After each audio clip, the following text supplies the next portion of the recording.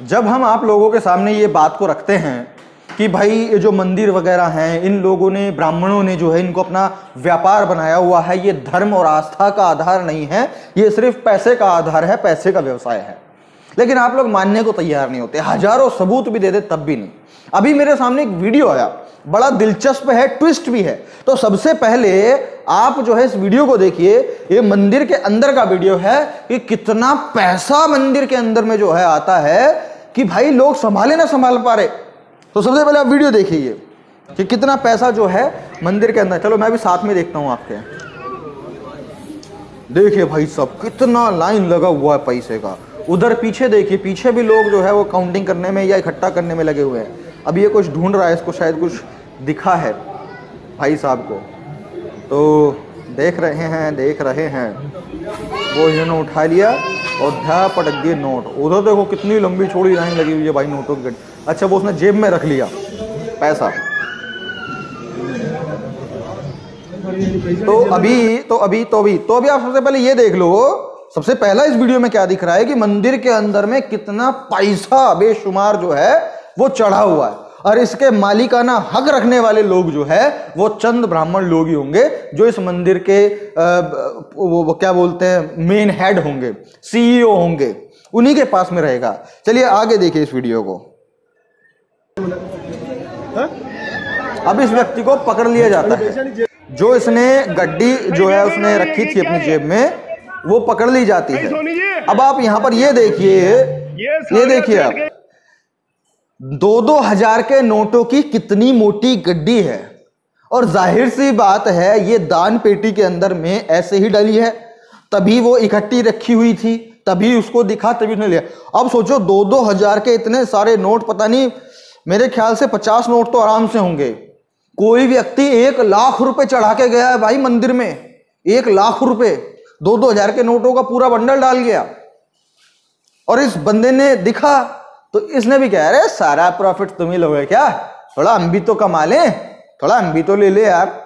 भगवान का ही तो दिया हुआ सब कुछ तो हम भी ले लेते हैं। लेकिन नहीं, लोगों ने पकड़ लिया।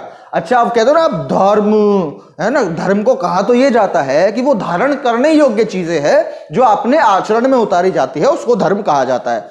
अब जो इस मंदिर के बड़े धार्मिक लोग हैं भगवान में आस्था प्रेम श्रद्धा भाव को रखने और फैलाने वाले लोग हैं अब जरा उस व्यक्ति का व्यवहार देखना जब इस व्यक्ति को पैसे लेते हुए पकड़ लिया उसकी बात सुनना आप यहाँ पे इस बंदे ने ये पूरा गड्ढा ऐसे कैसे अपनी जेब में रखा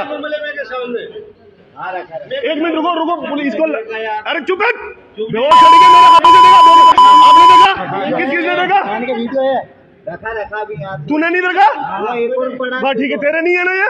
तेरे नहीं है ना? बस ठीक है फिर चलो ठीक है। कहीं को नहीं?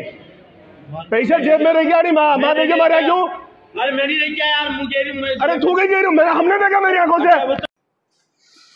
देख लिया आपने? क्या दिखाई दिया? कि वो गाली गलोच कर रहा है। गुस्से में आ गया। मारने को तैयार है। तेने हमारा पैसा लिया कैसे? तेने हमारा पैसा कैसे चुराया? अबे तेरा पैसा है। अरे लोगों ने दिया था, बाल्टी भर के आ रहा है, अगले ने एक गिलास पी भी लिया तो कौन सी दिक्कत आ गई? कौन से तुम्हारे घर बार लुट गए? अरे भगवान को थोड़ा कम पहुँचा देना, भगवान भी माफ़ कर देंगे इसको इतने पैसे के लिए तो। लेकिन नहीं, अगला गुस्सा हो रहा है पूरा, भयंकर, गालियाँ बक रहा है। क्यों? क्योंकि पैसा वो भगवान का थोड़ा ही है। पैसा तो वो इसका है, कमाई तो वो इसकी है। लेकिन लोगों को समझ में नहीं आता। लोग जा रहे हैं। और देखो S C S T OBC को छोड़ करके कोई भी जाए, वहाँ पे कुछ भी करे, मुझे उनसे ज़्यादा मतलब नहीं है। समझाने का कोशिश उनको भी है, लेकिन डायरेक्ट मतलब ज़्यादा मतलब नहीं है। लेकिन जो S C S T OBC समाज के लोग मंदिर में जाते हैं, अपनी प्रार्थना बताते हैं और उस प्रार्थना को जल्दी से जल्दी भगवान सुन करके, उस पर एक्शन लेकर के हमको रिएक्शन दिखे, उसके लिए पैसा चढ़ा के आते हैं। पचास रुपये, सौ, पाँच सौ, हज़ार, पाँच हज़ार मतलब जो जितना डरा हुआ, जिसकी जितनी बड़ी समस्या, मुसीबत, उतना ज़्यादा पैसा वो वहाँ डाल करके आते हैं। और उनसे अगर पूछा जाए कि भैया पैसा कहाँ चढ़ा करके आए हो? बोलेंगे, हम तो भगवान को चढ़ा के आए हैं, हम तो मंदिर में चढ़ा, आए हैं, भगवान को चढ़ा के आए लेकिन उनके दिमाग में यह नहीं आता कि जो ये इतने सारे लोग वो पैसा चढ़ा रहे हैं, क्या वो पैसा भगवान ले रहे हैं? कोई भगवान का बैंक अकाउंट है जिसमें ये लोग इस कैश को जाकर के डिपॉजिट करेंगे? है ऐसा कुछ? नहीं है। लेकिन फिर भी जो लोग हैं, वहाँ डालते हैं। अच्छा इसका लॉजिक क्या बताते हैं? जो पंडित पुजारी लोग हैं, ब्राह्मण लोग हैं, वो क्या कहते हैं? जी मेंटेनेंस के लिए तो पैसा चाहिए होता है ना? मेंटेनेंस के लिए। यार, एक बात सोच के देखो। जिस भगवान से मिन्नत करने आप मंदिर में जा रहे हो, जिस मूर्ति के सामने, पत्थर की मूर्ति के सामने मिन्नत करने जा रहे हो, वहाँ पैसा चढ़ा करके आ रहे हो? उम्मीद रख रहे हो, आस लगा रहे हो, उसके बाद में भी उस भगवान के नाम पर ना जाने कितने सारे व्रत, ये, वो, सब कुछ कर रहे हो। हैं? ताकि आपको कुछ मिल जाए।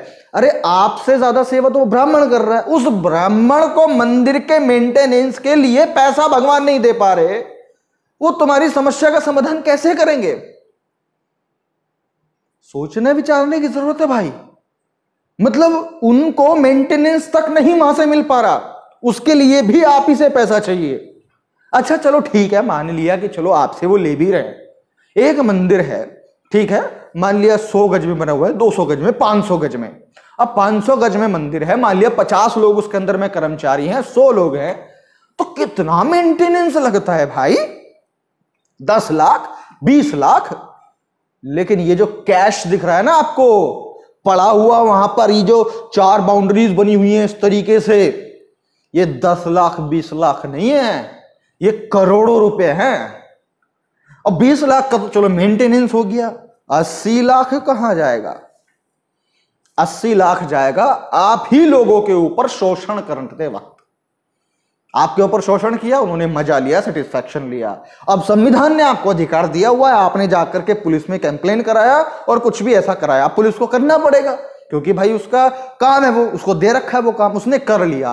करने के बाद में वो जिसने अत्याचार किया है, वो आप ही का दिया हुआ पैसा, एक लाख, दो लाख रुपए उस पुलिस वाले को देगा और पुलिस वाला आपके केस को आप ही के ऊपर थोप करके, हो सकता है आप ही को जेल में डाल दे।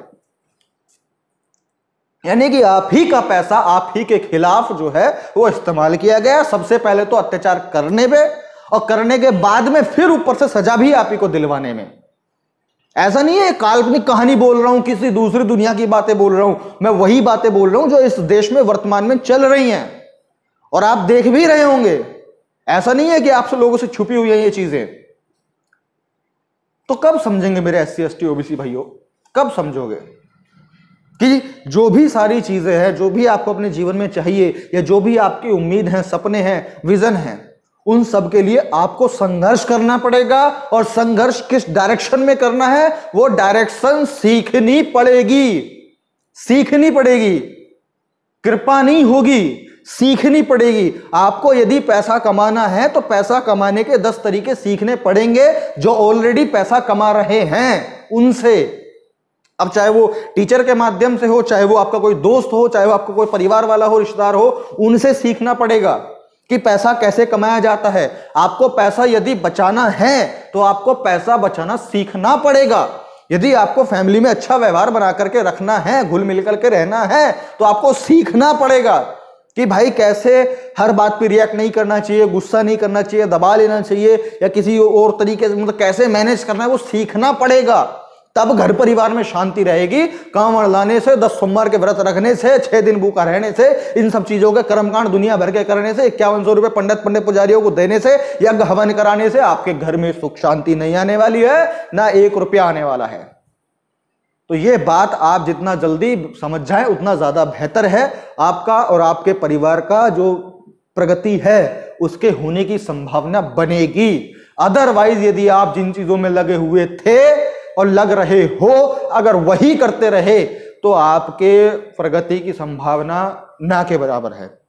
अब अगर यदि आप लोगों को ये बातें समझनी हैं, आप समझना चाहते हैं, या आप समझ गए हैं, जो अन्य लोग नहीं समझे हैं, उन लोगों तक इस वीडियो को शेयर कीजिए, ताकि वो सच्चाई जो है देश के लोगों तक पहुँचे।